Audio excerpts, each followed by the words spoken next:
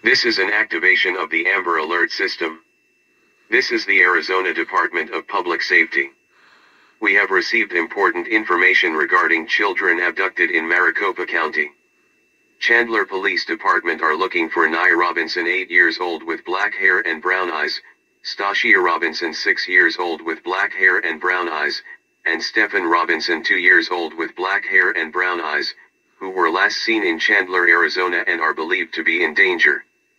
Authorities say that the children may be in the company of Stephen Charles Robinson, a 36-year-old man with black hair, brown eyes, 5 foot, and 9 inches tall weighing 265 pounds and they may be traveling in a gray 2013 Nissan Pathfinder with Arizona license plate CHT5393.